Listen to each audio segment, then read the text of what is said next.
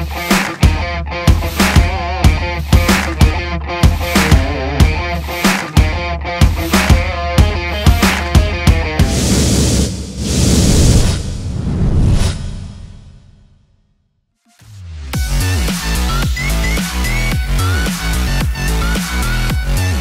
are here in the new socks, Go for Goal.